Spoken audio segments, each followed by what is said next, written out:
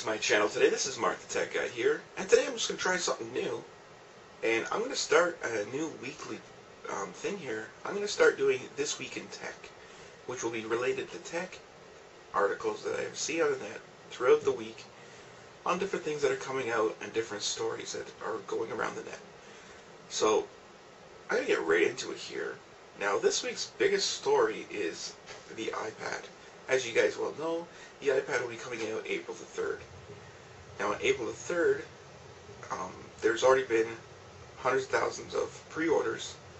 So let's see how many more will be left over for everybody else to buy. Let's, I'd love to see the numbers that happen that day.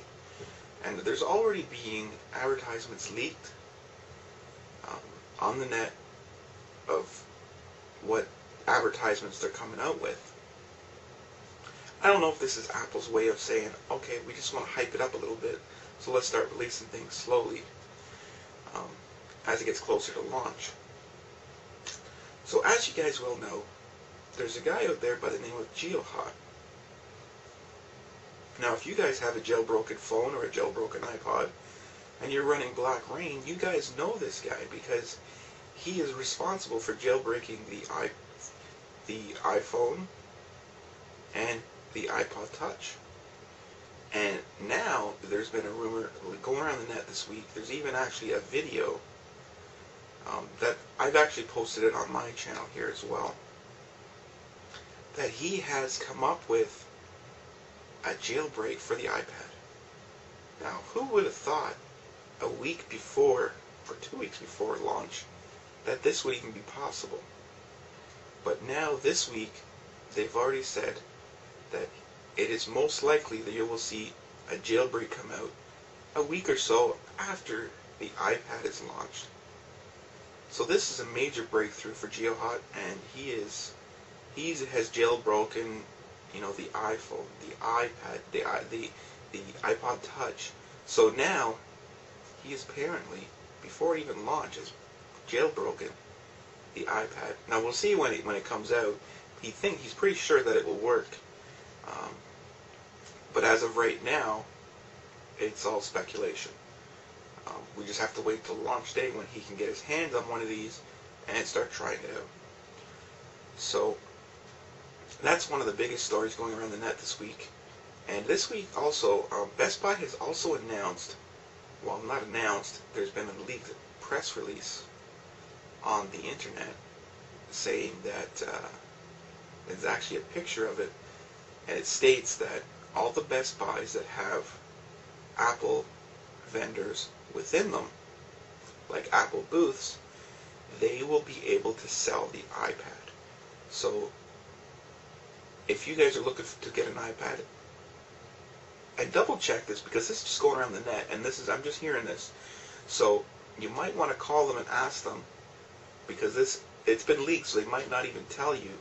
But it sounds like they will also be launching these at the Apple stores that are within the Best Buy locations. Um, so that's big news.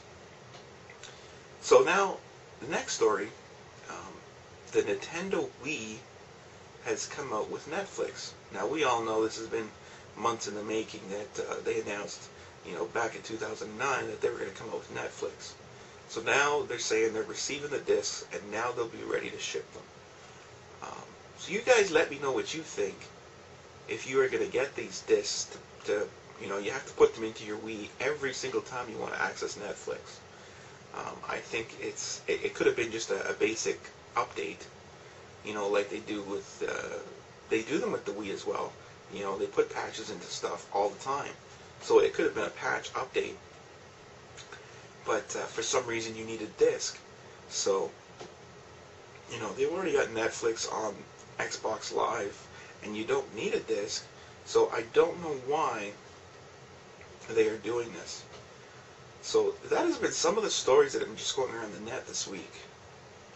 And uh, I, I don't think there's uh, too many more that are, that are big enough to talk about this week. So that's that's it for this week. And that was that has been this week in tech. And if you guys would like to give me your feedback, that would be great if you could put them in the comments below. And I would just like to ask everybody, if you could take this time all my loyal subscribers out there, if you could just rate and favorite any one of my videos, what I'm trying to do is I'm trying to get more subscribers so I can start reviewing bigger and better things. I want to be able to get out there more. I want companies to see this channel, and I want to start reviewing bigger better things. Right now I'm reviewing iPod apps and, you know, gadgets that I see around the net, but I would actually like to physically get these in my hand so I can review them. And I've also, I've, I am working together right now with a few different companies to get products shipped to me to start reviewing them. And the same with app developers, as you guys well know. I already give out some promo codes for a game called Cool Ball. Um, I gave out five promo codes.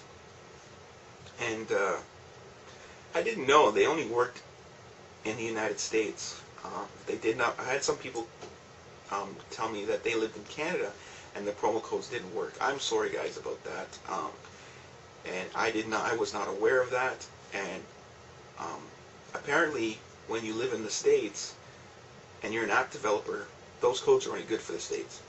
So they're not good in Canada. So if there was a developer in Canada, that would that would be the same way. They'd only be good in Canada, the promo codes.